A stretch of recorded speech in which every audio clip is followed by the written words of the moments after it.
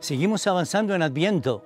Y Adviento es espera, por lo tanto es arreglo, por lo tanto es conversión, es cambio, es mirar que tengo que cambiar para que esta Navidad sea la más feliz de todas, sea una Navidad tal vez como nunca la he vivido, a pesar de encierros, de pandemias.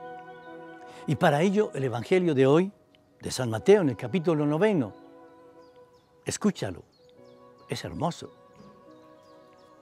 Iba Jesús de camino y lo siguieron dos ciegos que gritaban, Ten compasión de nosotros, hijo de David.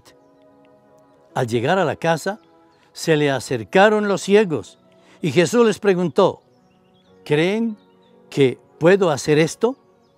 Ellos respondieron, sí, Señor. Entonces les tocó los ojos y les dijo que les suceda conforme a su fe. Y se les abrieron los ojos.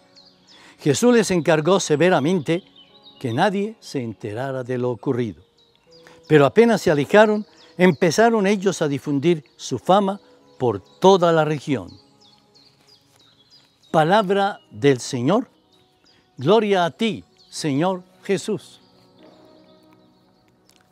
Mira, perdóname que recordando este Evangelio me meta de pronto en eh, chismografías de vecinos, pero se cuenta que en efecto en alguna ocasión eh, llegaron a un apartamento unos pues habitantes, lo tomaron el apartamento y miraban mucho por la ventana a sus vecinos y de pronto uno de ellos o una de ellas le dijo al otro o a la otra, ¿cómo te parece? Mira, estos vecinos eh, en su patio tienden la ropa todos los días, pero o no tienen lavadora o no saben lavar. Mira qué, qué sucia le queda la ropa.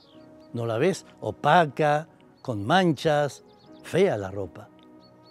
Y de pronto la compañera le dijo, no, mira, yo creo que no es eso. Permíteme, yo limpio los vidrios de la ventana. Limpió los vidrios de la ventana y se dieron cuenta que en efecto la ropa sí estaba límpida y hermosa. A nosotros nos pasa muchas veces lo mismo. No vemos sino el defecto del otro, la mancha del otro. ¿Por qué? Porque nuestros ojos, nuestra vista está empañada. O sea, no tiene la claridad del amor, no tiene la claridad de la limpieza de corazón.